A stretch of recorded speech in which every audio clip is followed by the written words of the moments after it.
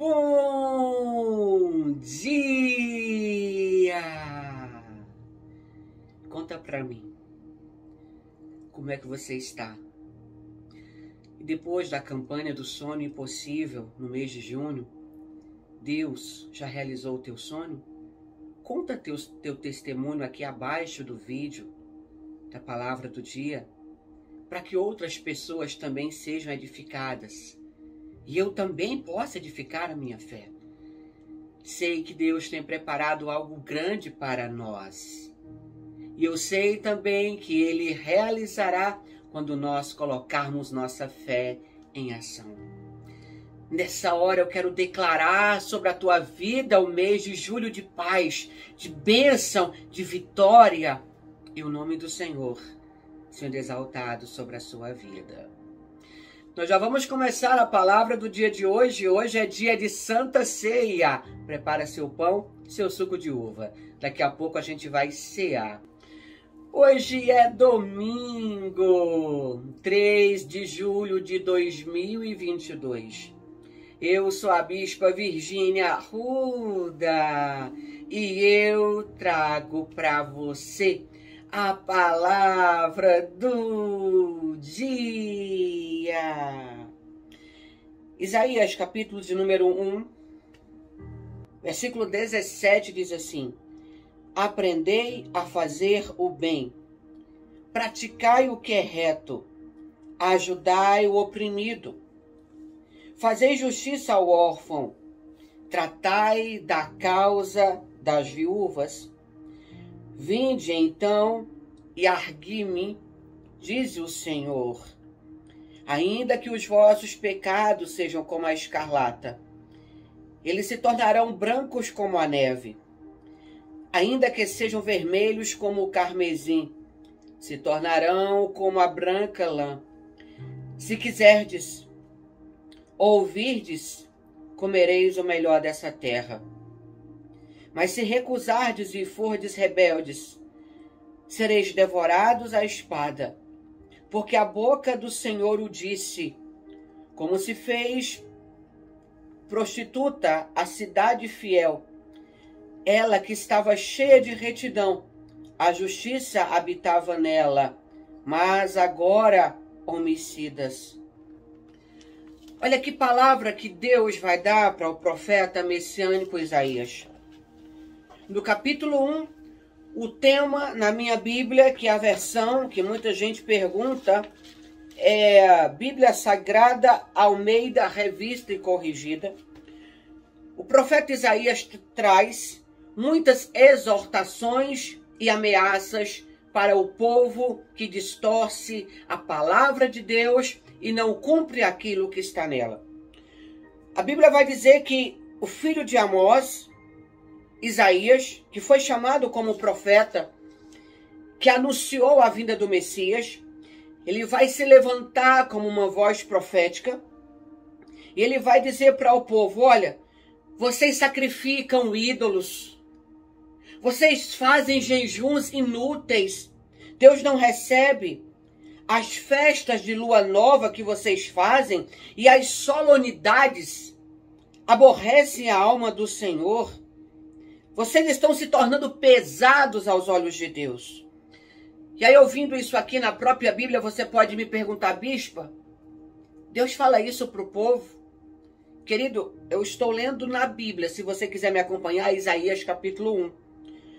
O Senhor diz assim, ó: Quando vocês estendem a mão, eu escondo os olhos de vocês. Imagina uma nação que Deus chamou para ser abençoada, em vez de nação, vamos falar de pessoas. Pessoas que Deus escolheu para um determinado propósito. Pessoas que Deus colocou em lugares, em situações para que elas rompessem e fossem usadas como canais de Deus. Agora, essas mesmas pessoas, elas começam a praticar o pecado de uma forma terrível, a ponto de elas estenderem a mão para pedir algo a Deus e o Senhor fazer o quê? Tirar os olhos de sobre eles. É possível que isso aconteça, bispa?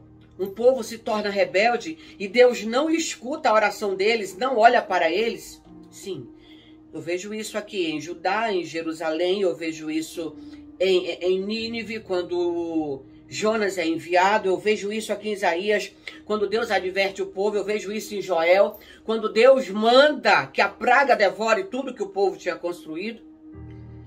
Só que no meio disso tudo tem algo que chama a minha atenção. Deus abre para nós a oportunidade de arrependimento. E a Bíblia também vai dizer que Jesus está à porta batendo. Se alguém ouvir a voz dele e abrir a porta, ele vai entrar, cear com essa pessoa e a pessoa cear com ele. Mas só que a gente não entende que quando Jesus diz que está na porta que vai entrar, é para ver mudança, transformação. Nenhum de nós, nenhum de nós podemos aceitar Jesus como nosso Salvador e continuar na mesma mesmice de pecado que nós temos vivido. A advertência é tão grande que Deus faz através do profeta Isaías, filho de Amós, que ele vai dizer assim, ó: Aprendei a fazer o bem. Pratiquem o que é reto, ou seja, parem de agir como pessoas maldosas. Parem de tramar pelas costas. Parem de arquitetar a morte do próximo. Porque eu dei para vocês vida. Porque vocês sempre retribuem com a morte, pergunta o Senhor. Porque vocês sempre fazem planos arquitetados para destruir aquele a quem eu abençoei. E ele continua dizendo: ajudem o oprimido. Mas no mundo que nós vivemos, não é só hoje, não. Antigamente também era assim. A gente começa vendo a história lá pelo bom samaritano, né? O cara tá lá na estrada de Jericó para Jerusalém. Passa o sacerdote, não faz nada. Passa o levita, não faz nada. O forasteiro, que é chamado de bom samaritano, é que passa e estende a mão.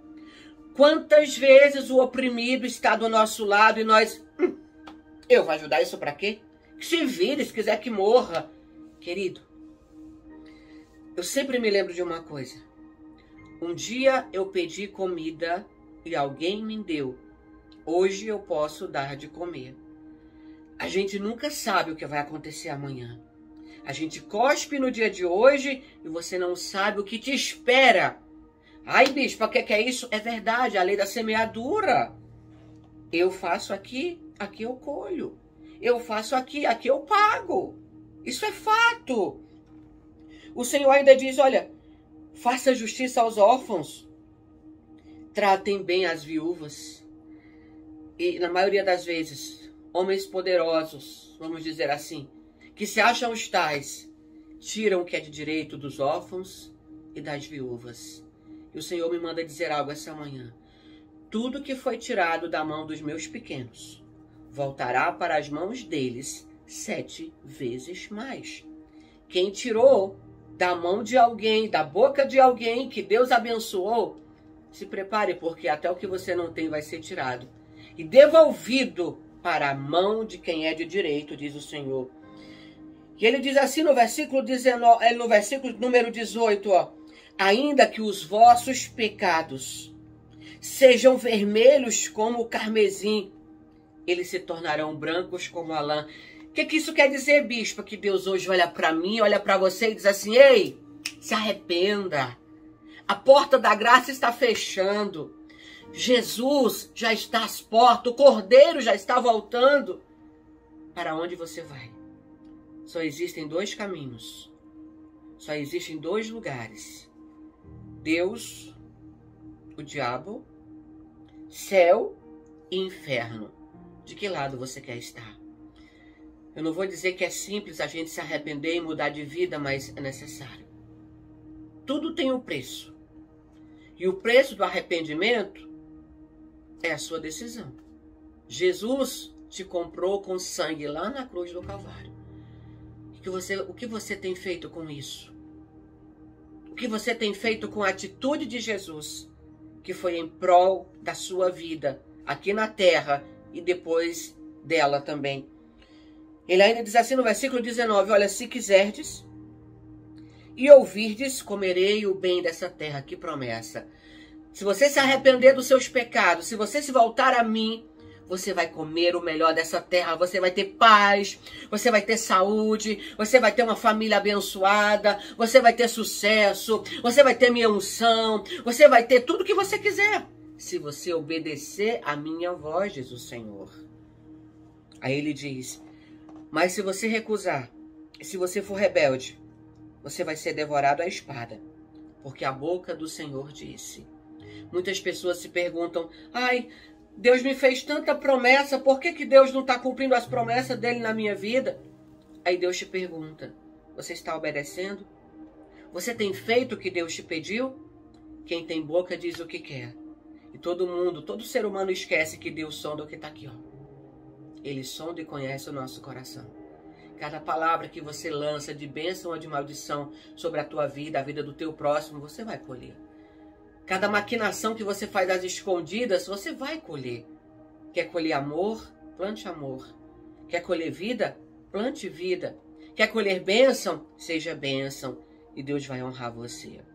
Vamos para a nossa santa ceia. Abra sua Bíblia comigo. 1 Coríntios capítulo 11. Mas antes da ceia, curva a sua cabeça.